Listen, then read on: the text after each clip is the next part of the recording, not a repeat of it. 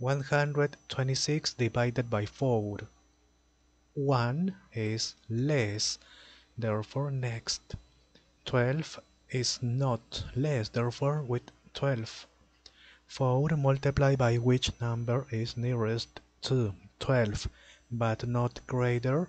4 multiplied by 4, 16. 16 is greater. Multiplied by 3, 12 is not greater. Okay.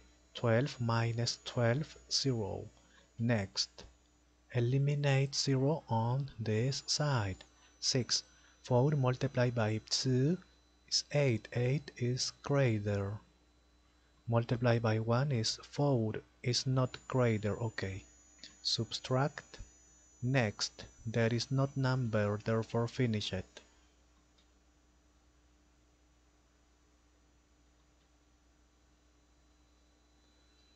Okay,